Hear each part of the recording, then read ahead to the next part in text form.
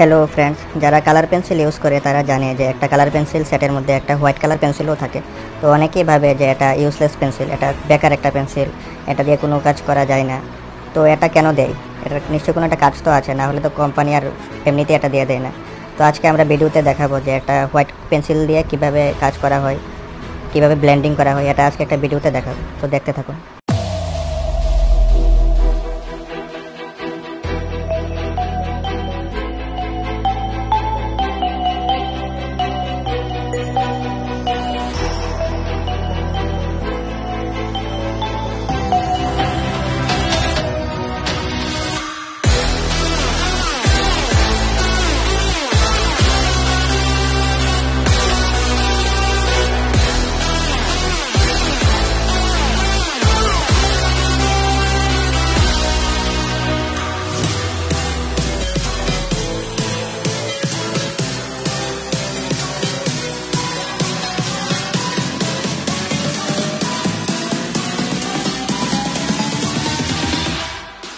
Thank you.